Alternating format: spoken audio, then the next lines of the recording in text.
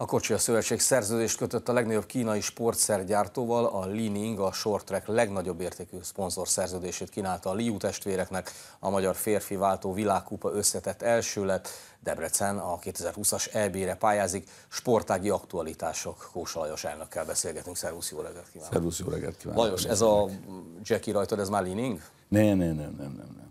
A sportszereket gyárt a Linig alapvetően. Nem, a, nem sportos, azért kérdeztem, hogy... Hát ilyenkor gondoltam, alkalmazkodok hozzá. Jól tetted, sőt, én meg túlöltöztem ehhez képest. A, a rövidpályás gyorskorsózás történetének legnagyobb értékű szponzor szerződéséről van szó a kínai sportszergyártóval. Értelmezzük el. Azt mondom, hogy már mint a Liu testvérek és a Lining közötti mm. megállapodás, és vagy a szövetség és a kínai cég közötti megállapodás. Két, külön dologról van szó. Igen, ez egy, egy hármas megállapodás. Hát az a helyzet, hogy igyekszünk hogy is mondjam, kihasználni a lehetőségeket a támogatások megszerzése érdekében, és miután a Lining az a világ egyik legnagyobb sportszergyártóra, miután a kínai piacon a legnagyobb, és ott ugye az óriási piac, ezért uh, sikerült ezt a tényleg, uh, hogy is mondjam, nagyszerű szerződést megkötni.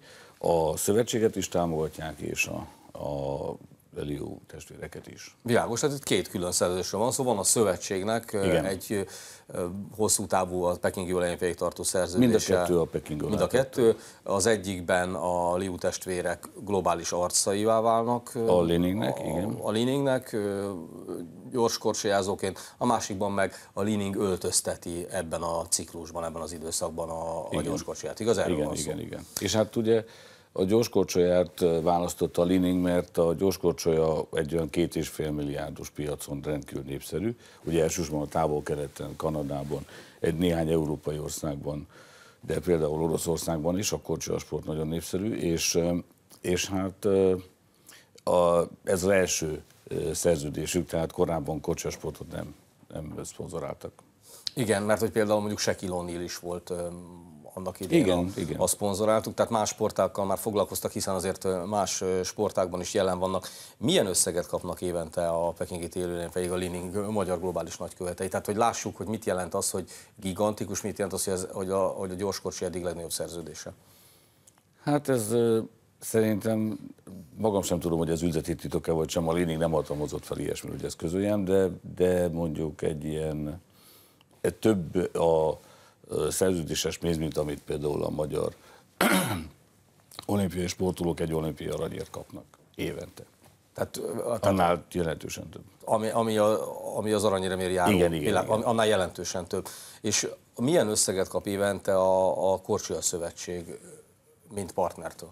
Hát ennyit nem kap, tehát az ilyen 10 milliós nagyságrendű támogatás évente. Plusz a, a ruházat. Tehát van egy készpénzes támogatás, meg uh-huh. a ruházat. A ruházat az nagyobb értékű, mint a készpénzes támogatás, hiszen ugye a szerencsére a lányok is nagyon jók, a fiatalok között fantasztikus tehetségek vannak, hogy itt ugye a vegyes váltóban például most a világkupán ö, olyan csapalát találtunk fel, amivel még nem és másodikok lettünk, benne egészen ö, ö, fiatal bemutatkozóval, úgyhogy ö, ez a ruházati támogatás, ez ugye sok, sok tételből áll, és vághatatlan ruháktól kezdve a sima casualig, úgyhogy ez elég nagy értékű.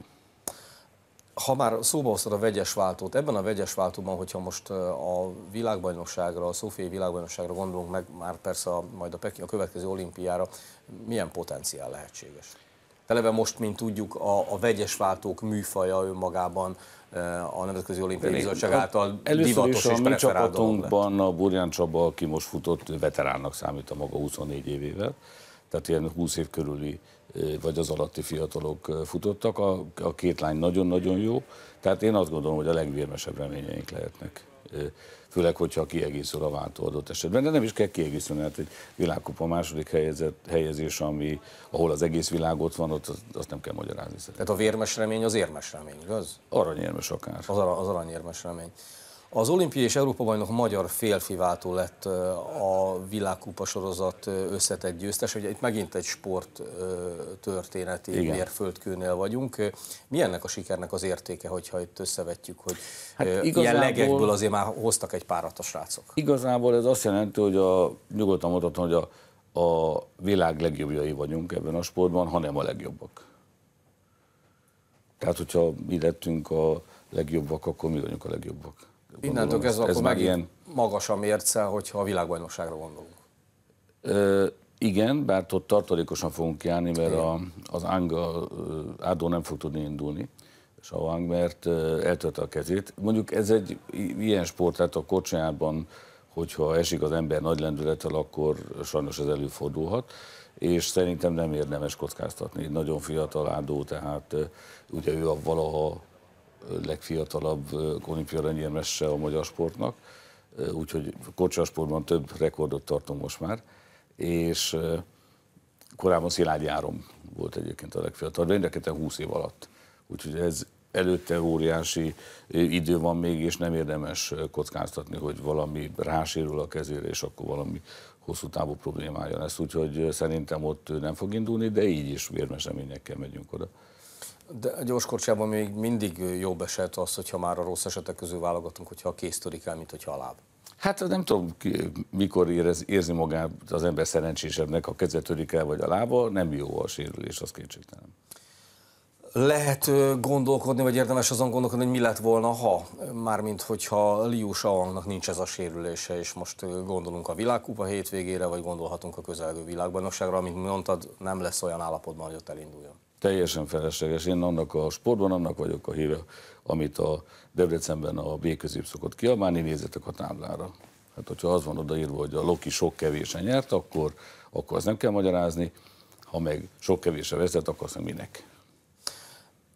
Ha már szóba azt a Szilágyi Áront, lehet, hogy furcsa, de évek óta téma közöttünk csapatban az év sportolója díj, ezt Liu Shaolin Sándor nyilatkozta, és a karcsapattal szintén erre a díjra, az egyéni csapat díjra jelölt Szilágyi Áron teljesen egyértelműnek látja hogy idén nem nyerhetnek mások, mint a gyorskorisok. Szerintem. Ezt meglátjuk. Hát azt mondja, hogy már csak az olimpiai bajnoki cím miatt, cím miatt is. Ezért kérdezem, hogy te feltennéd mondjuk rá a BMW motorodat, hogy a srácok ezt megnyerik, ezt a kategóriát. Hát, szívesen. A robogómat nem egy nagy, mert már kicsit öregecske. De, de őszintén szólva itt izgulhat az ember a legjobban, mert amikor a pályán vagyunk, és a, a táblára kell nézni. Akkor, akkor ott, ott, kell, akkor tudjuk, hogy mire vagyunk képesek. Hát ez egy bonyolult szavazás. Én azt gondolom, hogy a, az ma már mindenképpen történelem, hogy sikerült megnyerni a magyar ö, sport első téli olimpia aranyát, egy fantasztikusan izgalmas verseny végén, ahol csak az elején vezettünk két kör erejéig, meg a végén vezettünk két kör erejéig. És hát meglátjuk, csütörtökön lesz én a, az átadó, én magam is ott leszek a fiúkkal. Ha visszamegyünk a világkupa záróállomására Torinóban, és ugye Burján Csabát már szóba hoztad, de beszéltünk a Krüger fivérekről, és mondjuk Varnyó Alexről is, Igen. ott volt a kvartetben, meg Krüger Kól is. Ez a négyes, ez már... Alá Bence most azért maradt ki, mert azt mondta, hogy ebben az évben befejezi az orvosi egyetemet, tehát most ez egy lazább lazább éve lesz, mert az olimpia előtt ugye az nagyon kemény felkészülés volt, és az olimpiai arany után mondta, hogy az orvosi egyetemet mindenképpen befejezi. Most Folytattad a névsort, én erre vagyok kíváncsi, hogy ez a négyes, meg, meg általában az, hogy hányan és milyen minőségben vannak ott a Liu testvérek mellett, ez megmutatja már, hogy mennyire lesz eredményes a generációváltás, illetve ennek az elitnek a szélesedése. Hát ugye generációváltása abban az esetben értelmezhető, hogy a az olimpiai aranyérmes csapatnak a doenje, és 28 éves a Nok Viktor, és őt most nem mondta, tehát ott az egy generációváltás, ezek a fiatalok tényleg nagyon fiatalok, tehát ilyen 23 éves, a 24 éves a legidősebb, és a, és a, a, hogy is mondjam, az utána jövők is már mutatják az oroszlán karmaikat, lásd itt most a világkupa ezüstérem, úgyhogy én még generációváltásról egyáltalán nem beszélnék, esetleg a Viktor esetében, bár még ő is aktív. Tehát a lányoknál és a fiúknál is úgy látom, hogy az utánpótlás felépítése az ilyen értelemben jó. Talán egy-két generáció lesz, ami egy picit lyukas, az a, de az se tehát a 15-16 évesek között, de, de igazából az sem. Úgyhogy hát az az igazság, hogy az olimpiai arany nagyon jót tett a, a sportnak, a népszerűség, az érdeklődés szempontjából. Azt látjuk, hogy ez egy félelmetesen érdekes sportág, meg különleges képességeket igényel, mert mikor 60-nal mész, és úgy fordulsz be a kanyarba, azért ott olyan sebességgel mész, amit legfeljebb kerékpárosok tudnak átélni saját erőből, és, vagy síelők esetleg, és ugye nagyon látványos, és az utolsó pillanatig kiszámíthatatlan, bármi történhet, egy kicsúszás, egy előzés, valami.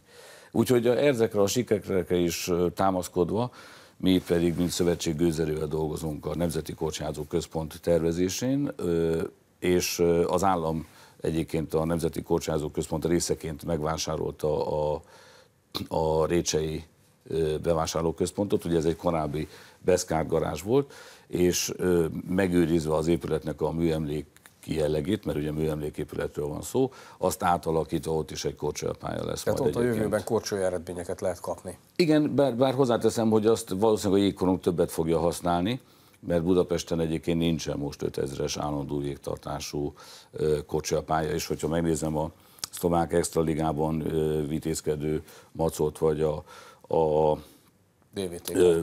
Diós Győrt, azért ott szükség lenne egy ilyenre, és ez is egy, hogy is mondjam, különlegesség, örülök, hogy a kocsi a sporthoz kötődik, nevezetesen, hogy talán a rendszerváltás után, óta először fordul elő, hogy nem korábbi sportlétesítményből lesz lakópark vagy bevásárlóközpont, hanem fordítva, egy bevásárlóközpontból lesz sportlétesítmény. És az lehet, hogy majd a Mac jövendő ebelcsarnoka is lesz? Hát, hogyha a az ebben játszik, ez attól függ, hogy az biztos, hogy ott szeretnénk rendezni a nagy versenyeket. Tehát, hogyha mondjuk ö, meg lenne ez, akkor nem is kérdés, hogy mondjuk egy Európa, Shortrek Európa bajnokságot hol kellene rendezni. Így most Debrecennel pályázik a szövetség de ott, a, ott aztán ugye dolgozunk azon a, a mi bajnokságunk, tehát mondjuk, ahogy értem a kocsiasport bajnokságát, mi úgy szerveztük meg, hogy a V4-ek bajnokság, tehát a nemzeti bajnokságunk együtt van a lengyellel, a, a szlovákkal és a csevel, mindig, mindig más helyszínen, ez egy méltó helyszín lenne. De természetesen, hogyha valaki megnézi mondjuk, hogy a kis stadion hogy néz most ki, az az 50-es évek annak is a lepukkant verziója, ott korcsolyáznak a fiatalok, illetve gépkorongoznak, azért ez sokkal méltóbb helye lesz a, a Récsei Központban egy ilyen pályának. Arról ne beszélve, hogy tényleg érdekes egyébként építészeti és ilyen, hogy is alkotás szempontjából is, hogy egy eredetileg ugye busz és trolli remíznek épített 20-as években világszenzációnak számító épületet visszaadjunk a maga méltóságában, mert most a jelenlegi bevásárlóközpont kialakítása ugye dobozokat tett a, a, és álmennyezetet a csarnokba, tehát nem lehet látni, hogy mitől műemléki, és mitől volt világszenzáció egyébként ez a magyar alkotás, és én nagyon örülök annak, hogy sikerült a, az államnak ezt visszavásárolnia, úgyhogy természetesen a tervezés még nem indult el, mert csak most kezdődött, most volt az átadás átvétel decemberben, de mihelyt a tervezés megindul, akkor azonnal természetesen a környékben lakókkal, a, az érintettekkel, a Kocsia Szövetséggel, a, a Jégkonok Szövetséggel ezt le kell egyeztetni, és akkor az István mezőt visszaadjuk az eredeti funkciójának, legalábbis az István mező egy darabját, mert ugye az István mező eredetileg egy nagyon nagy sportközpont volt. És most újra az lesz. Lajos, köszönöm szépen, hogy itt volt. Köszönöm szépen.